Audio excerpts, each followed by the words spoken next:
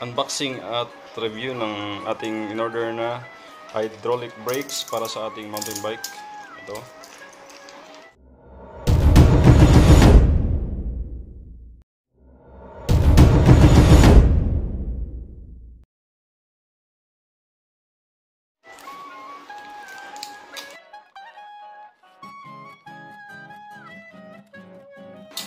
Delivered by JNT. Yan guys. Sa description ng video mamaya, ilalagay natin yung link ng ating orderan. Okay, so yan yung ating order. Paano babasahin yan? Bluke. Bluk. Okay, so Bluke. Bluk. Hydraulic brakes brand. Yun. So far, maganda naman yung kanyang pagkakabalot. Meron siyang mga bubble wrap.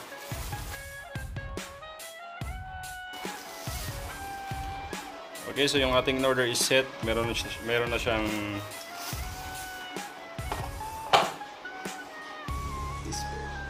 meron na siyang disc brake. So, yung ating disc brake is 160 mm. Yan. Kanyang diameter. Meron siyang tatak na high quality parts. Okay. So, one pair yan guys. Ito yung isa.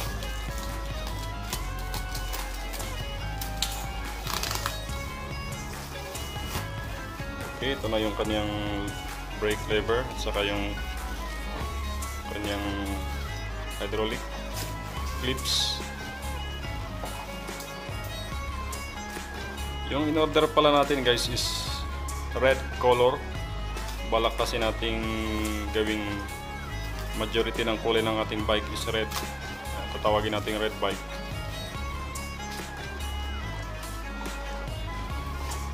Okay, so i-check natin kung okay yung mga parts at wala siyang damage.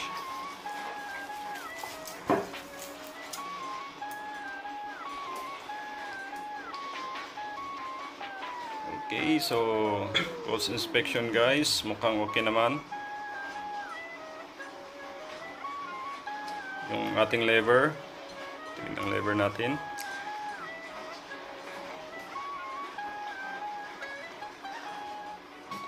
Yan yung kanyang brand, Block.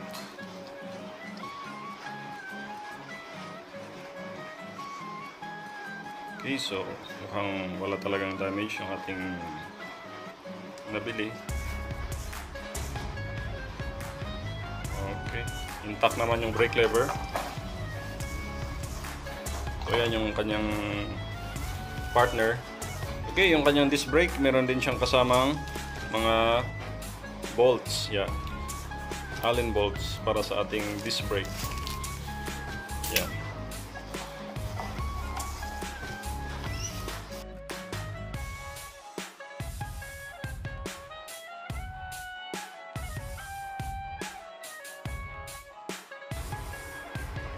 Okay, so yan yung ating order na hydraulic brake. Blue color. Blue brand from Shopee.